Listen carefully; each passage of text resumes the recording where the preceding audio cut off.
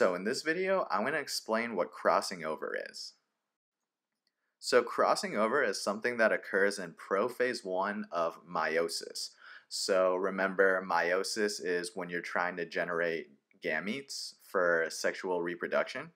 And so you're not going to have crossing over during mitosis. So that's an important distinction. And so crossing over is defined as the exchange of chromosome segments between non-sister chromatids. So as you can see here, this chromatid and this chromatid are sister chromatids. And this chromatid and this chromatid are sister chromatids. And so essentially in the end, what you're going to get is a new combination of genes that you distribute to the gametes that doesn't is not necessarily found in either parent. And so as a result, this can contribute to increased genetic diversity, which is always a good thing. All right, so now let's look at how this happens. So I've wrote some genes on there. Let's say capital gene A capital gene B. So these are the same. And then these are lowercase a, lowercase b. And so I have the alleles written there. And so pretty much what's going to happen is during prophase 1, these two chromosomes, so remember that this big X thing is a chromosome. And these two, the blue and the red, they're homologous chromosomes. So the homologous chromosomes are going to come together during prophase 1 of meiosis and they're going to attach. So after they attach, it creates essentially like a four sister chromatid thing. Um, so think of each one, each half of the X as a chromatid. So it's going to create a structure called a tetrad or a bivalent.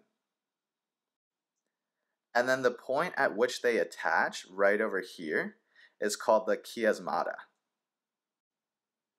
And so I'm not going to get into the exact mechanism of how you break apart the chromosomes and um, the nucleic acids and exchange the genetic material because that's a little bit more complex, but essentially what's happening is that pretty much as you can see, these parts exchange. So this blue chromosome here gets a piece of the red, and the red gets a piece of the blue.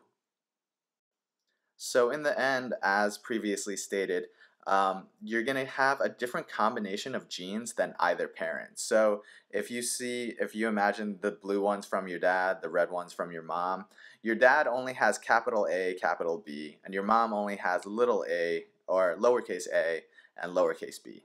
So then in the end, you get a sister chromatid over here that has capital A and lowercase b, which none of these parents had. And then you also have a sister chromatid with lowercase a and capital B, which none of the parents had. And so then um, as you go through meiosis, you're going to give one sister chromatid essentially, so one half of the X into each gamete.